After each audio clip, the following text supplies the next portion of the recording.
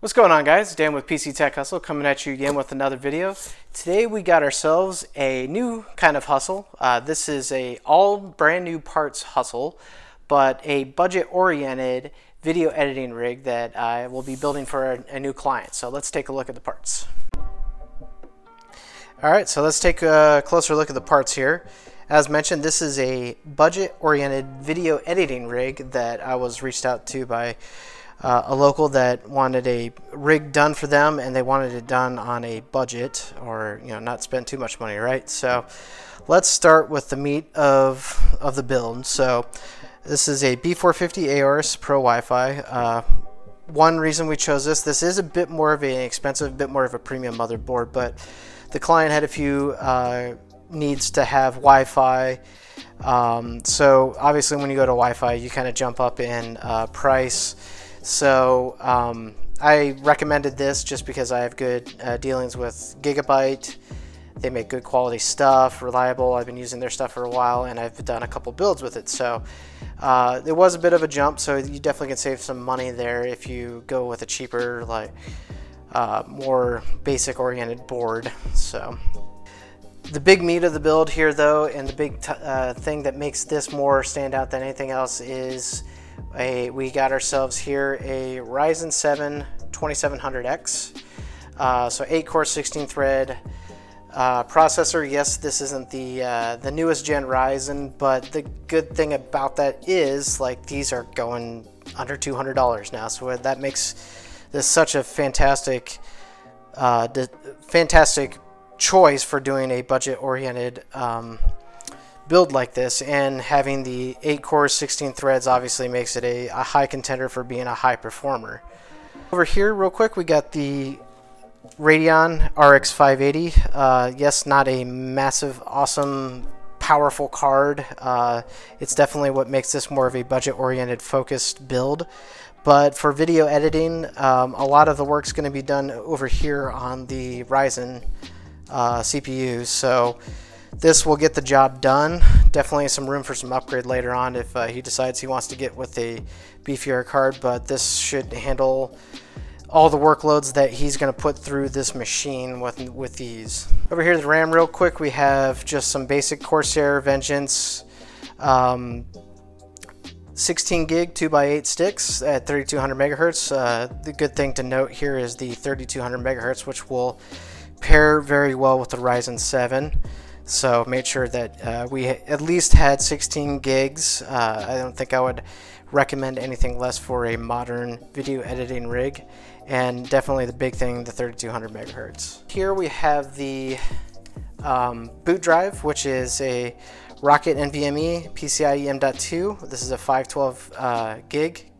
This is a fantastic drive for what it's worth. It's uh, kind of more on the budget oriented side, but also uh, very well reviewed. And uh, I've used, actually used one of these in a previous build, just a 256 variant, and had no issues. So I definitely recommend that if you're looking for a cheap drive.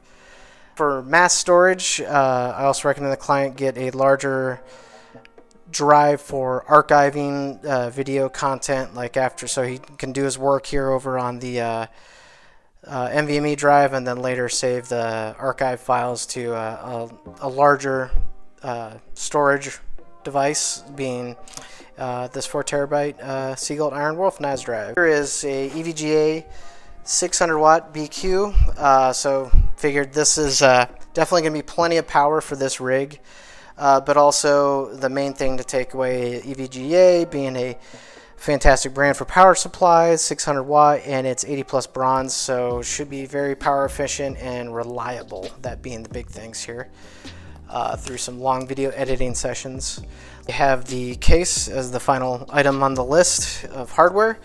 Uh, not a major particular reason we chose this case other than we uh, something I recommended as something that would cool uh, fairly well with Meshify C. Obviously having a good front mesh to pull in clean fresh air and uh, supply two fans which is nice. Uh, the, the, color is white and we got tempered glass. Um, and actually he mentioned that he his previous video editing rigs rigs being the key thing here were actually uh, Mac Pros that would overheat. So he's done with the Mac side and he's moved on to the PC Master Race. so anyway, um, that covers all the parts we have on the table and let's get cracking on building this thing and uh, make ourselves a potent little budget video editing machine.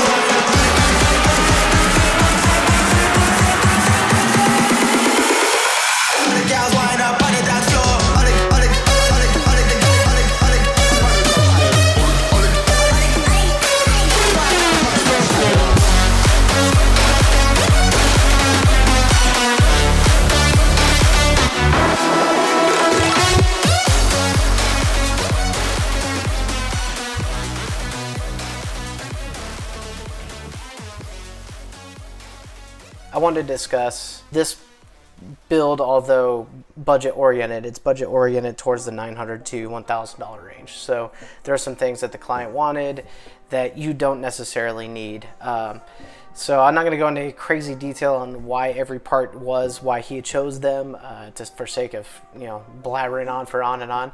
But I wanted to show you guys, and I'll I'll, I'll put two links in the description below too, that have like what we chose as the build, and then uh, what you could do to modify that to really make a cheaper build. So again, uh, our build came out to about $918. I think that price is slightly inflated, uh, especially here on the 2700X.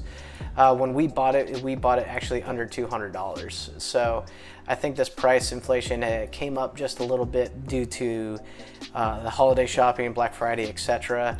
So if you keep that in mind, bear that in mind. So this price is, should be within a range of under $900 uh, which is what the client was targeting uh, between the $900 to $1,000 range. But if you take that list and I, what I did here is I modified it to more of a bare bones style where remove the motherboard that had Wi-Fi features and just kind of went with the basic uh, ASRock board um, that dropped the price.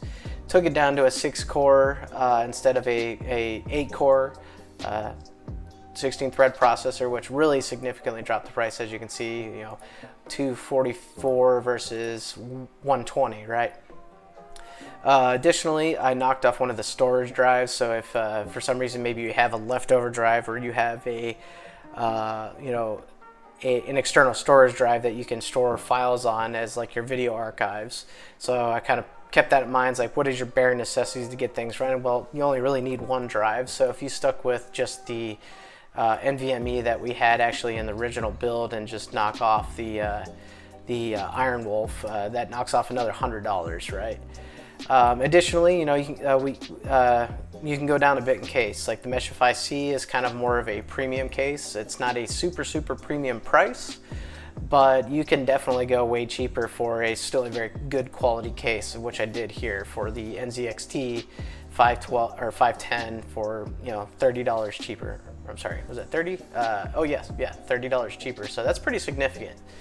Uh, lastly, power supply. Like we, you know, we're kind of up there in power, a 600 watt. Maybe even this system doesn't necessarily need a 600 watt supply. I don't, I don't want to say so, but I kind of gave him some buffer room, right? If he decides to go up in hard drive, I'm sorry, hard drive, uh, GPU and maybe processor later down the road, he doesn't have to worry about upgrading his power supply as well. So that's why I kind of stuck with that originally. But if bare bones focus is what you want, you can definitely you can definitely drop it down, especially if now having a lower power draw CPU, right? So and you can see the price difference that makes 43.98 versus the original you know $70 so and the total you know obviously speaks for itself. We're under $600 now versus 918 so if you're really focusing on just how to build something that's budget that can do video editing you know here it is you know, give or take an extra you know I would say anywhere between another 10 to 20 or even 30 more dollars. So,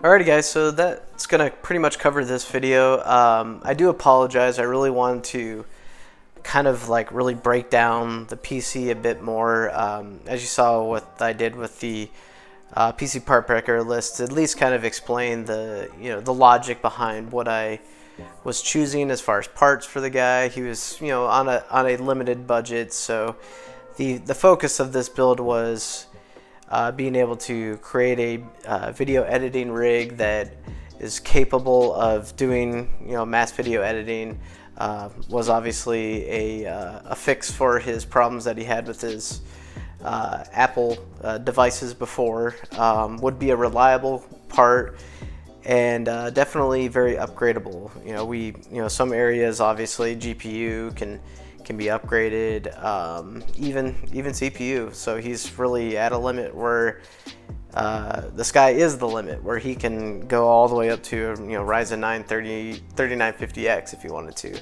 Again, I do want to kind of apologize that I wasn't able to include more of like the actual benchmarks of the device, um, what it was capable of doing as far as video editing, etc.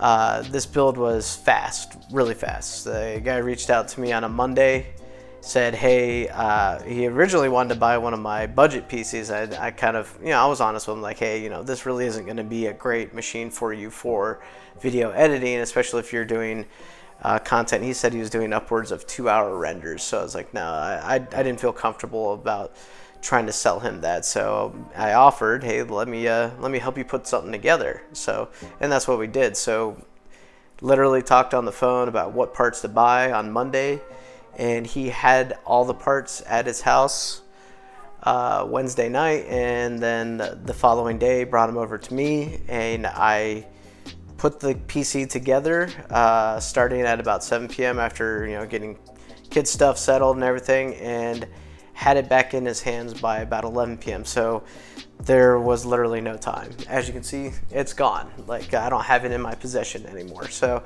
Um, which is fine. That's what he wanted. Uh, you know, it wasn't a build that I was doing, so uh, for my own purposes as far as benchmarks and stuff. So uh, he's a happy customer, and I think uh, this was a good example of uh, if you're out there looking for a budget build that's tailored for video editing.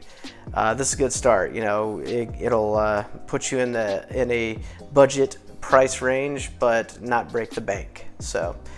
Uh, like I said, this about does it for this video. Uh, if you enjoyed this video, uh, please give it a thumbs up. It really helps out the channel, helps that algorithm right. Um, and uh, I got some more stuff coming your way. Um, and uh, I'll catch you guys in the next video. Thanks for watching.